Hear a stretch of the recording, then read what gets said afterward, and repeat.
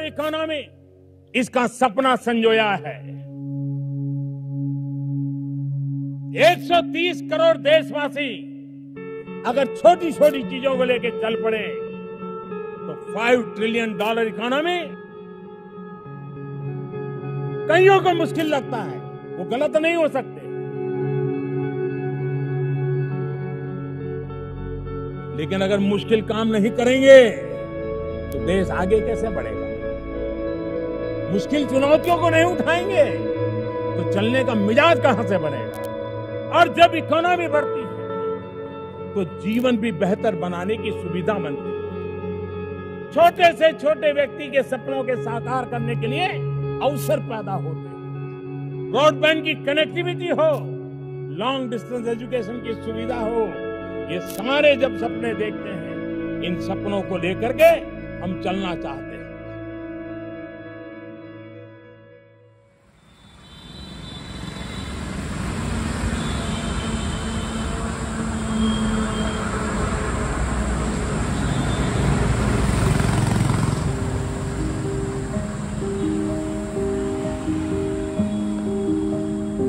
इस पार तुम हो गम है उस पार न जाने क्या होगा।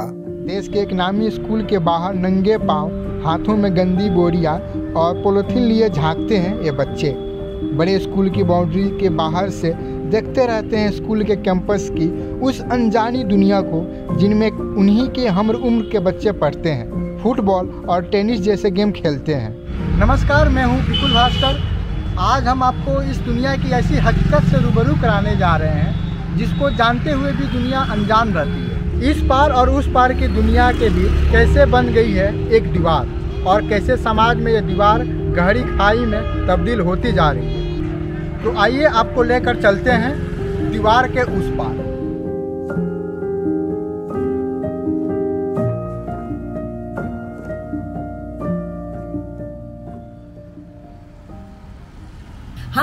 इकोनॉमिक ग्रोथ की बात करते हैं तो शायद हमारे देश के जो एक प्रतिशत लोग हैं उनके पास देश की सत्तर अस्सी प्रतिशत से ज़्यादा पैसा उनके पास है। तो, तो उस तरह से अगर आप देखिए तो ग्रोथ हो सकता है आपके इकोनॉमी में ग्रोथ दिख रही हो लेकिन क्या लोग बढ़ रहे हैं साथ में?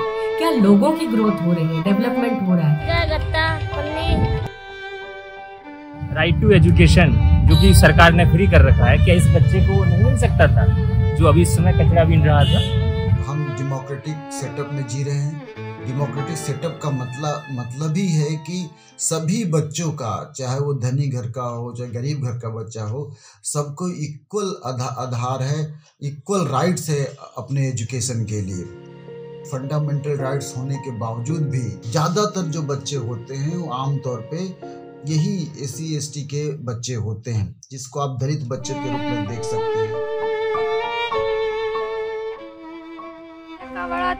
में बहुत दूर दूर तक चला जाता है। जो खेरी मारता कवड़ी चुनता है वो दूर दूर के मिलता मारता है। पता नहीं कब गाड़ी के नीचे टक्कर लग जाता है कब चोट लग जाता है कहाँ शीशा लग जाता है कोई आता पता नहीं है ये सब काम के लिए। ये काम भाई साहब खुद हमसे वो लगता है। मजबूरी सामने जाते हैं महसूस होता है। तो ये वो भी इंसान है हम भी इंसान है। वो आज क्यों साफ़ सुथरे में हम क्यों गंदगी में? क्योंकि भाई हमारा किस्मत से गंदगी है और हम खुद हाथों से गंदगी उतर गए।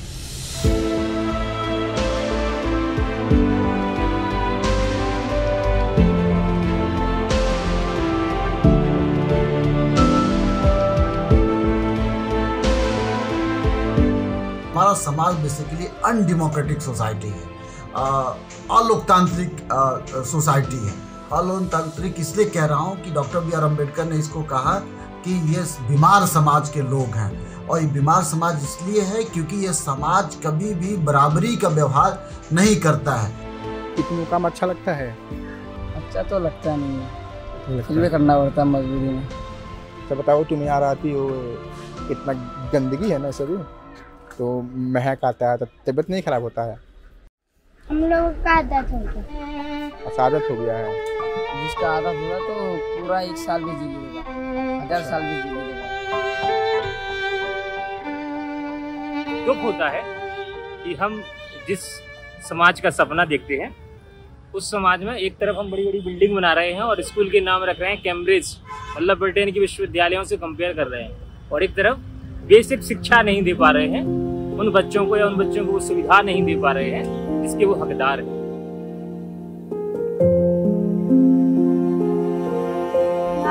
सरकारी स्कूल में जाएगा तो रोज का तीस रुपए देना पड़ता है। आने जाने का बीस रुपए बच्चा तो दस रुपए खा ही लेगा। तो अगर घर का पैसे भी नहीं रहेगा फिर भी देना ही पड़ता है बच्चा को पढ़ा लिखने के लिए पैसे।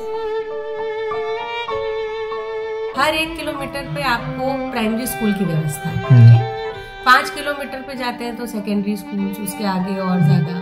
यूनिवर्सिटीज जाते हैं तो शायद आपको ज़िले में एक मिलेगी। या स्टेट में चार में जाएगी। तो आप वहीं से देखिए कि कैसे एजुकेशन से धीरे धीरे धीरे धीरे अपने आप ही लोगों को काटने की व्यवस्था है। स्कूल क्यों नहीं जाते हो? स्कूल पहले आप तो काम करता हूँ ना स्कूल नहीं जाता हूँ। पहले स्कूल जाता था अब पापा बोला कि काम कर ले। तो पढ़ा लिखा भी नहीं हूँ। इसलिए बोला तो स्कूल जाओगे तब ना? नहीं मैं सेवन तक पढ़ा हूँ। उसके बाद से छोड़ दिया मैंने। क्लास पाँच तक सब पढ़ सकते हैं।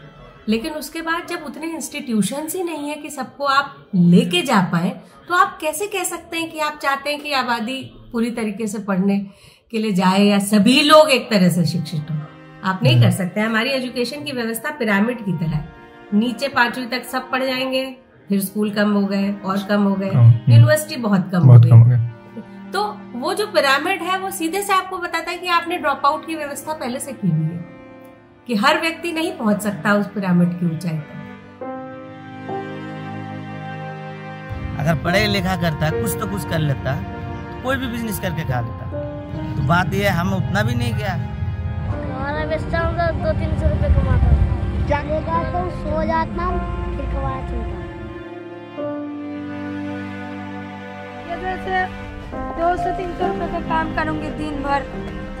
उसी में पानी खर्चा, उसी में घर के रही उसी में बच्चा का सारा पैसे वैसे।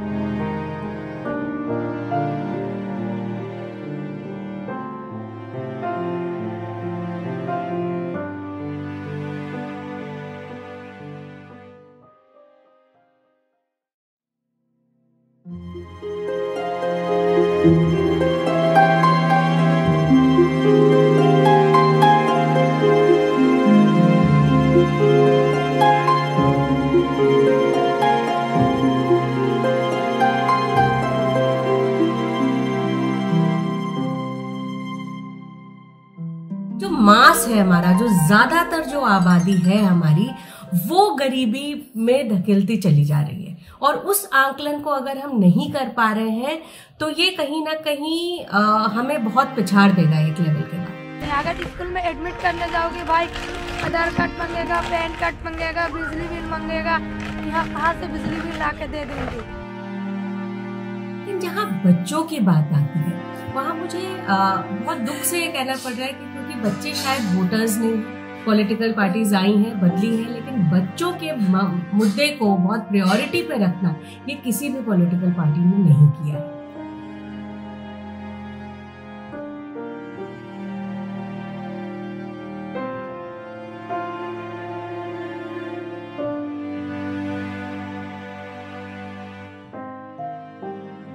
सरकार ऊपर से पेन नहीं घुमाती तो ये सब ये सब चीज़ अगर नहीं देगा तो एडमिशन मत कराना। तो थोड़ी वो टीचर लोग मना कर सकते हैं। अगर सरकार बोल देती तो एक प्रूफ अगर होगा एडमिशन करवा दिया। तो हो जाती। बच्चे हमारे देश के लगभग 40 प्रतिशत आबादी बनाते हैं। लेकिन उनके लिए जो बजट हमारी सरकार आवंटित करती है, वो इतना कम होता है, इतना कम होता है कि वो 30 से 40 प्रतिशत आबादी के लिए कहीं से भी आप उसको जस्टिफाई नहीं कर सकते। तो वो सीधी सी बात है कि जिस पर आप खर्च नहीं कर रहे, उसकी ग्रोथ आप कैसे करेंगे? जिस पर आप बजट आवंटित नहीं कर रहे हैं उसको आप कैसे इकोनॉमिक ग्रोथ में साथी मान देंगे या वो विधायक, या वो यहाँ के लोकल जो पार्षद कह लीजिए और म्यूनिसिपैलिटी के लोग हैं क्या उनकी नज़र नहीं पड़ती होगी कभी? पूरे का पूरा स्लम एरिया जो मुंबई का स्लम एरिया है दिल्ली का स्लम एरिया है ये बच्चे किस जाति के हैं कौन है ये? इसके इसका ठीक ठीक आंकड़ा सरकार के पास है ही नहीं। जिसकी वजह से ये बता पाना उनके लिए मुश्किल होता है कि कितने बच्चे चाइल्ड लेबर में हैं। आप सेंसस का डेटा उठाइए किसी स्टेट का डेटा उठाइए आपको कई कई जगह तो दिखेगा कि एक भी बच्चा चाइल्ड लेबर में नहीं लेकिन क्या ऐसा है जिस स्टेट में आप सड़क पर निकल जाइए आपको चार बच्चे काम करते हुए दिख जाएँगे वहीं डेटा आपको ये दिखाता है कि कोई बच्चा काम नहीं कर रहा। सरकार अगर चाहती तो सब कुछ कर सकती। तो सरकार अगर ये मतलब उनको अंदर सोच लेते थे बच्चा अनपढ़ गबर ना बने ऐसे पूरा गबर मिल के ना घूमे वो चाहती तो सब कुछ सही करता। कार्यक्रम बहुत से है। आरटीई एक्ट है। जो कि कहता है कि हर बच्चे को कंपलसरी रूप से शिक्षा मिलनी ही चाहिए। और उस एक्ट के अनुसार हर बच्चे का मतलब वो बच्चा भी जो रैक पिकिंग कर रहा है, वो बच्चा भी जो चाइल्ड लेबर में है।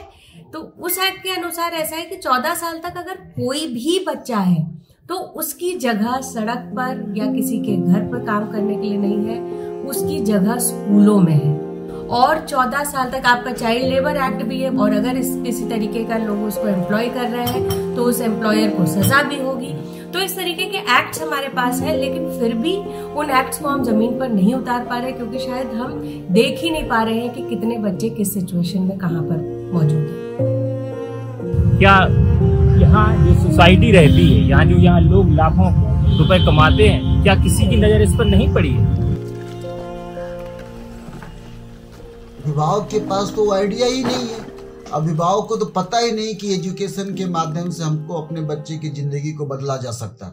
उनका आ, उनका संघर्ष पहले पेट का संघर्ष है। ये पापी पेट का सवाल है। तो पापी पेट के लिए आ, इन बच्चों को उनके माता पिता भेज देते हैं कचरा बिनने के। वो जो बच्चा सड़क पर दिख रहा है, उसे देख करके हमें दर्द नहीं हो रहा। हमें नहीं लग रहा कि ये बच्चा मेरे बच्चे की तरह स्कूल में क्यों नहीं है। उस दिन तक हम इस समस्या से नहीं दूर हो पाएँगे।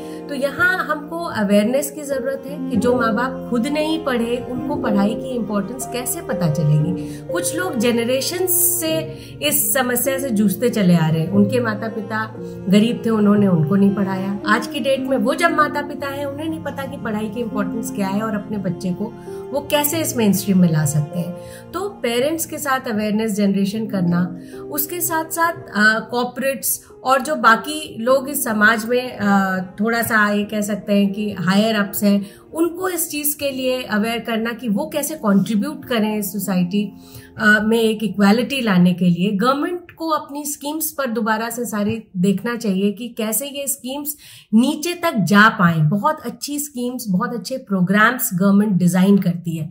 लेकिन वो जिनके लिए डिज़ाइन होते हैं, वहाँ तक पहुँच नहीं पाते। अमृत सेन ये बात कई बार कह चुके हैं जो हमारे देश के नोबेल प्राइज विनर थे, उन्होंने कहा था कि एलिमेंट्री एजुकेशन को सुधारने की ज़रूरत है। क्यों? क्यों सुधारने की ज़रूरत है? क्योंकि एलिमेंट्री एजुकेशन में ज़्यादातर गाँव घर के जो बच्चे आते हैं या गरीब घर के बच्चे तो ज़्यादातर दलित बच्चे होते हैं। कचरा बिन वाले जातियाँ जो होती है, वो ज़्यादातर दलित होते हैं, इसलिए वो आउट है, क्योंकि सरकार का फोकस कभी भी दलित समाज के ऊपर सेंट्रल फोकस कभी दलित समाज पे रहा ही नहीं। इसलिए बच्चे बाहर हैं। हर एक व्यक्ति जो शायद एक चाइल्ड लेबर को एम्प्लॉय कर लेता है उस तक ये अवेयरनेस पहुंचाना कि बच्चों से काम करवाना बच्चों से कोई भी चीज़ सड़क पर खरीद लेना उन्हें भीख देना ये कैसे उस बच्चे के लिए कितना नुकसानदायक है। तो हर एक तबके को मुझे लगता है साथ आने की ज़रूरत है तब हम लोग बच्चों की इस समस्या से निजात पा पाएँगे। अगर इसमें वो इच्छा होगी कि रोज वो बिल्डिंग के पीछे या उस दीवार के पीछे देखता होगा कि काश मैं भी इस स्कूल में पढ़ता। अगर इसमें बचपन से ही जज्बा रहा कि एक दिन मैं भी कुछ पढ़ लिख के कुछ बनूँगा या ना भी पढ़ पाया, तब भी कुछ बनूँगा तो हो सकता है कि वो इस जो इस अभी वर्तमान स्थिति में है, उससे निकल पाए। वो उसके जज्बे की बात है